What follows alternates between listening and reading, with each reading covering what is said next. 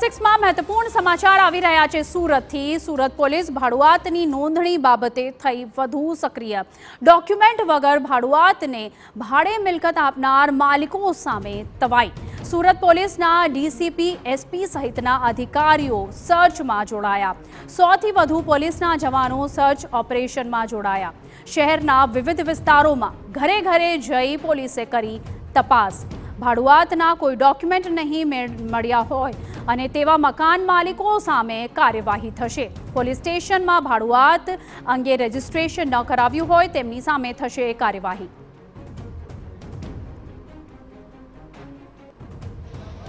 ગુજરાતની અંદર લોકો છે તે ભાડે રહેતા હોય છે ઘરની અંદર અને જે મકાન માલિક દ્વારા રૂપિયા કમાવાની લાલચે જે છે મકાન ભાડે આપતા હોય છે અને ત્યારબાદ જે ભાડુઆતો છે, ક્યાંક જે ગુનાહિત પ્રવૃત્તિ કરતા હોય છે તેને રોકવા માટે હાલમાં જે રીતે ગુજરાતના જે ડીજીપી તરફથી જે રીતે સૂચન કર્યું છે, તમામ શહેરોની અંદર જે ડ્રાઈવ ચલાવવામાં આવી રહી છે, ત્યારે સુરતની વાત કરીએ તો સુરતની અંદર પણ જે જે અલગ અલગ વિસ્તારોની અંદર પોલીસ દ્વારા સર્ચ કરવામાં આવી રહ્યું છે. અત્યારે આ દ્રશ્યો જોઈ શકાય છે કે મગદલ્લા ગામ છે તેની અંદર પોલીસ દ્વારા તમામ જે મકાનો છે તેની અંદર સર્ચ કરવામાં આવી રહ્યું છે, તપાસ કરવામાં આવી રહી છે કેટલા લોકો ભાડે રહે છે.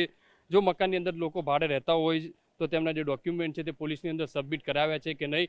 તમામ બાબતને લઈને તપાસ કરવામાં આવી રહી છે તો આપણી સાથે અ, જે ડીસીપી જોડાયા છે તેમની સાથે વાત કરીશું સાહેબ કઈ રીતનું અ, સર્ચ કરવામાં આવી રહી છે કેટલી ટીમ બનાવવામાં આવી છે અને કઈ રીતના ગુના નોંધવામાં આવશે ये माननीय डीजीपी सर की तरफ से अभी एक ड्राइव दिया गया है तो सीपी सर के मार्गदर्शन मुजब अभी हमने जहाँ पे भाड़ुआत ज़्यादा रहते हैं वो गांव या वो कॉलोनियाँ उनमें बड़ी टीम बना करके एक साथ अ, जितने भाड़ुआत रहते हैं हंड्रेड परसेंट घर हैं उनका वेरिफिकेशन हम लोग कर रहे हैं।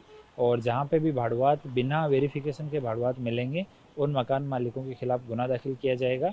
और हमारा प्रयास है कि जितने भी भाड़ुआत रहें वो सब वेरीफाइड हों और किसी तरह के क्राइम में उनकी हिस्सेदारी नहीं हो। तो इसके लिए ये टीम बना के और पूरे एरिया को कवर किया जा रहा है।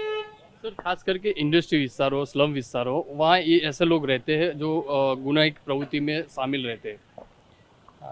वहाँ पे डेंसिटी ज़्यादा है पॉपुलेशन का तो उस रेशियो के हिसाब से वहाँ पे कुछ ऐसे परप्रांतीय लोग ऐसे रह सकते हैं जो क्राइम में शामिल हों।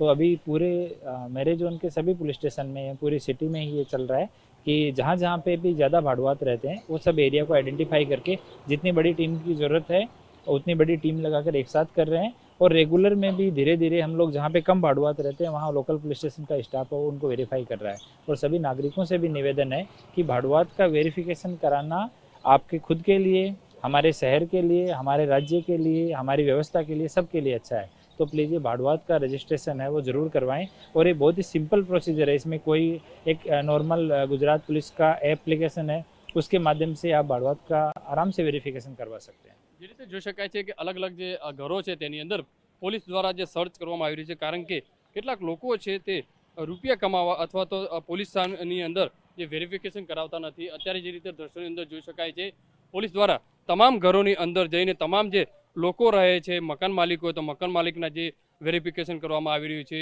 લોકો ભાડે રહેતા હોય તો તેમના ભાડુઆતના વેરિફિકેશન કરવામાં આવી રહ્યા છે. તેમને પોલીસને માહિતી આપી છે કે નહીં. આ તમામ બાબતોને લઈને હાલમાં પોલીસ દ્વારા એક એક ઘરની અંદર જે તપાસ છે તે સર્ચ કરવામાં આવી રહ્યું છે. જે રીતે માહિતી મળી રહી છે કે સોથી વધુ પોલીસ કર્મીઓ, જેની અંદર કેટલીક મહિલા પોલીસ કર્મીઓ છે અને યુવાન પોલીસ ડીસીપી, એસીપી કક્ષાના અધિકારીઓ છે, તે આ સર્ચની અંદર જોડાયા છે. કારણ કે ગઈકાલ પણ જે રીતે ગુજરાત હાઈકોર્ટ દ્વારા ટકોર કરવામાં આવી છે કે આ રીતે ભાડુઆત જે લોકો રહે છે તેમના ડોક્યુમેન્ટ વેરિફિકેશન કરવામાં નથી આવ્યા, તો તે ગંભીર બાબત છે, તો તેની જે તપાસ છે તે થવી જોઈએ.